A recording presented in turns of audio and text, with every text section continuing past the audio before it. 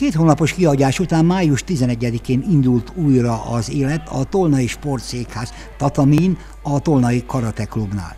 Ez olyan hosszú idő volt, hogy az erőléti technikai leépítés után nem is a teremben, hanem még a Faddi sporttelepen kezdték el a közös erőléti edzéseket. Ám még most is előfordul, és gyakoriak a teremben az ilyen kínzó eszközökkel tarkított erőléti edzések. A Faddon ugyan egy gyönyörű szépen felújított és egy nagyon improvizatív pályára kimehettünk edzeni, úgyhogy teljes felszerelést felajánlották. Ugye tulajdonképpen május 11-től egészen azt mutatom, hogy durván szeptember elejéig a Faddi sportpálya volt az otthonunk, és ott tudtunk edzeni.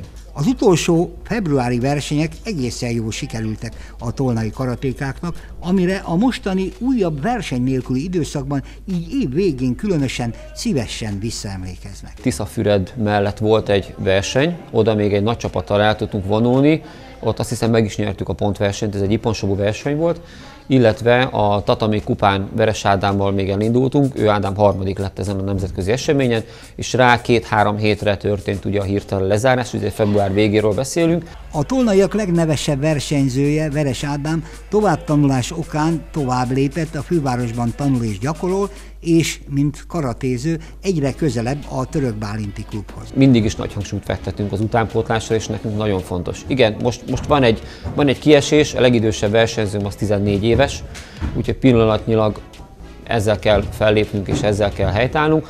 Én azt gondolom, hogy ha a munka folyamatos, és már pedig folyamatos nálunk, amíg a, a pandémia lehetőségeket teremt rá, ha a munka folyamatos, akkor az utánpótlás az mindig fogja biztosítani azt a versenyzőbázist, akikkel tudunk aztán menetelni a későbbiekben.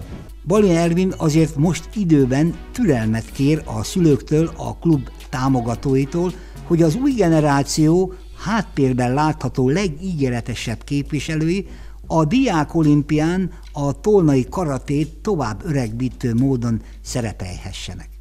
Nem híve a gyerekek eredménycentrikus kizsigerelésének, ez, mint mondja, sérüléseket vagy éppen lelki töréseket okozhat. Inkább én egy, egy alaposabb előkészítő munkának vagyok a híve, és ezt az előkészítő munkát fog szeretném utána rátenni arra a versenyzői specifikumra, amivel a gyerekeket aztán oda tudjuk állítani a versenyző életben. De én úgy gondolom, hogy ez kell valószínűleg most egy-két év a tolnai csoport életében.